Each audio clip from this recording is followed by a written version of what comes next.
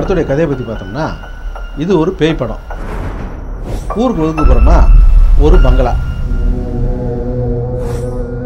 அந்த பங்களாவுக்கு தேவை இருக்குதோ இல்லையோ ஒரு நாலு பேர் போவாங்க. அந்த நாலு பேரையும் அந்த பங்களாக்குள்ளே இருக்கிற ஒரு பேய் பாடா படுத்தோம். இந்த கதையே போதுமானதாக ஒரு நல்ல பேய் படம் பண்ணுறதுக்கு ஆனால் ஒரு செக்ஸ் பேய் படம் பண்ணுறது தான் இவங்களுடைய நோக்கம்.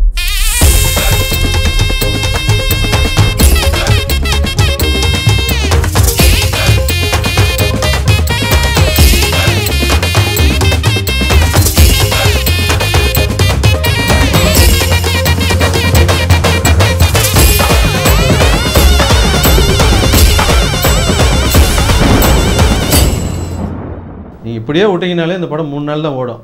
நீங்கள் கொடிய கிடியே பிடிச்சி இந்த படத்தை ஒரு வாரம் பத்து நாள் ஓட வச்சிடாதீங்க.